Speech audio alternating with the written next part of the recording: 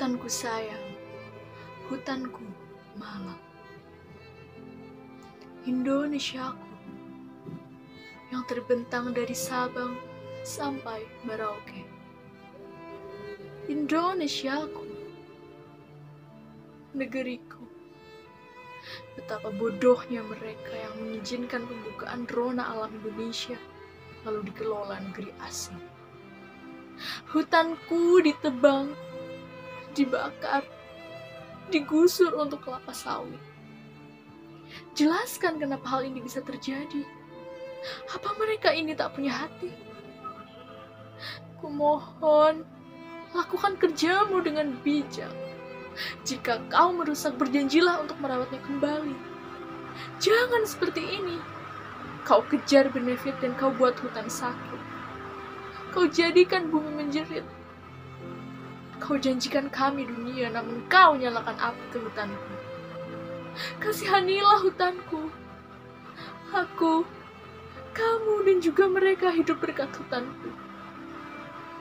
Tolong beritahu aku siapa yang curang, supaya tidak ada lagi kebodohan, kebobolan, dan rakyat pun tenang.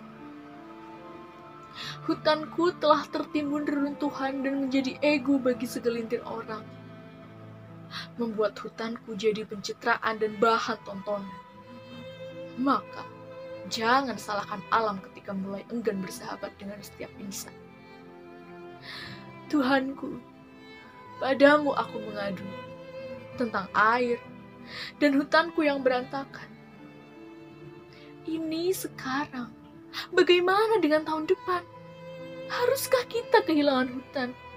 Apa yang akan kamu rasakan? Andai satu aku dapat berbicara, tentu dia akan berkata, Aku membutuhkan udara gratis, dan aku menyayangi hutanku. Saudaraku, mereka sudah punah di Bali, di Pulau Jawa. Sekarang aku dimangsa dengan status yang berbahaya. Andai hutanku dapat berbicara, dia pasti akan berteriak. Sudah cukup, jangan kau bakar aku untuk kesenangan sesaat. Jika tidak ada aku, engkau tidak akan bisa hidup. Kawan, hutanku tak lagi hijau, oksigenku sudah berkurang.